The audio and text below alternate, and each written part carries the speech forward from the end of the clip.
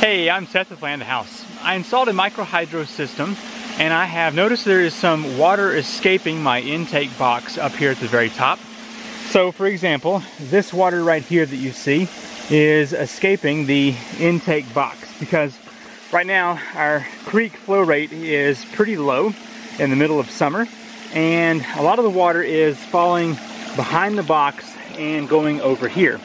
And so I have tried a couple of things to try and get this to all go into the box, such as uh, putting some rocks in here to try and keep it into position, but it just has not worked very well. And so I had an idea.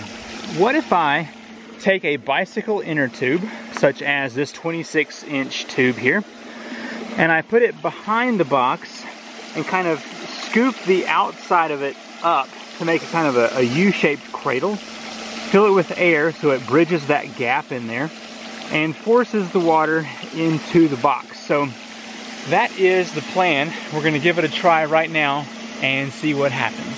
I think there's enough room behind here that I can get this inner tube all the way through. See what I can do here. Might have to find a stick and kind of guide it on through. Let's try this one.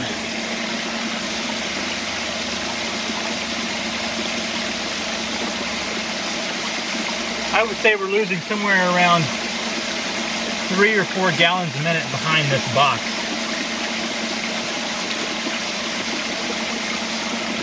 Nice. So I'm just going to take this tube and kind of bring it up here so that it's sticking up above the box a little bit.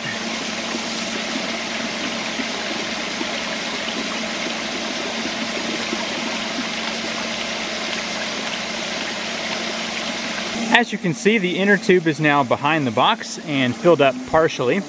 It seems to be getting a lot more water that was spilling out over here. Um, there's still some spilling over, which may be coming out of leaks of the box, but uh, it is much reduced. So that means we are getting more water into the box here, and hopefully we'll increase our output at the bottom some. A little bonus footage here. This is my neighbor's turbine. He's made a little housing for it.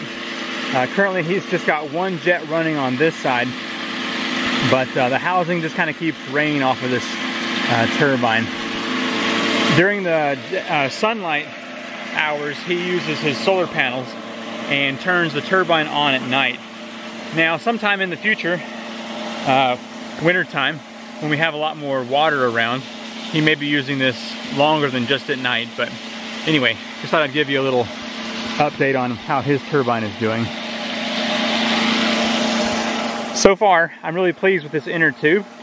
It seems to be catching the rest of the water.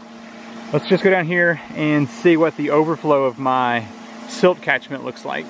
I need to bring a five gallon bucket up here to do some testing on my overflow. Uh, but currently there's enough coming out the top of the barrel and over here on this side that I can still run one jet down at the turbine.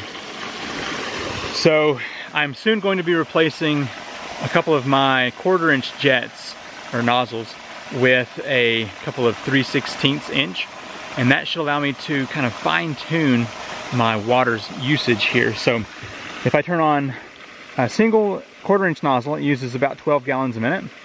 And then I can turn on a 3 16 and hopefully get my wattage up to 250 watts. But anyway, I just want to show you my idea of putting a bicycle inner tube between the intake box and the rock to help capture that last little bit of water here in the middle of summer when it matters the most.